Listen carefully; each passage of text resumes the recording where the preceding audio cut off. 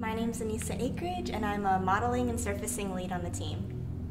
My name is Daniel Huddleston, and I am the other modeling and surfacing lead on the team. When working on Azalea on Stargazer, um, I receive concept art, and I also receive notes from the director on how they want Azalea to look. Stargazer takes place in uh, the future and it's a dystopia. So we knew that Azalea would not be sitting there, you know, every morning doing her makeup and making her hair look perfect and she'd be a little more rugged. So it's little details like that that I especially like to put into my character designs.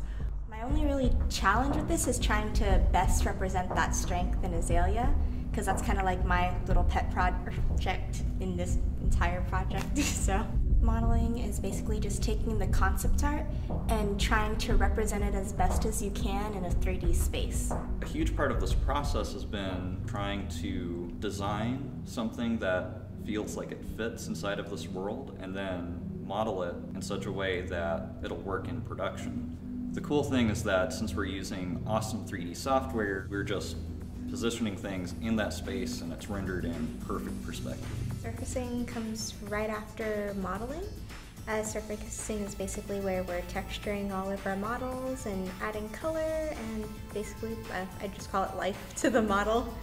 It's really important stuff of the pipeline, not only to you know, add life to models, but also it changes the way that light reacts to the surfaces of different objects, you know.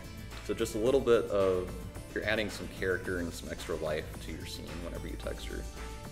The most rewarding thing though about working on this project is just the team that we have. Everyone's like super diverse. Getting to build those connections and work with people and learn from them is, has really been the best part of this process so far. Watch our movie, it's going to be really cool.